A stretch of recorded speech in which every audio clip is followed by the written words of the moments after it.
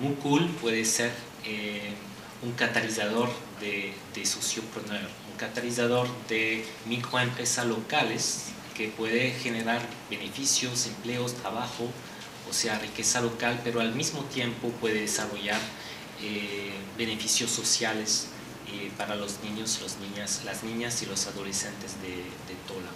Cualquier iniciativa tiene que surgir de, de una voluntad local. Eh, no se puede decidir desde aquí, desde esta mesa, qué se va a hacer.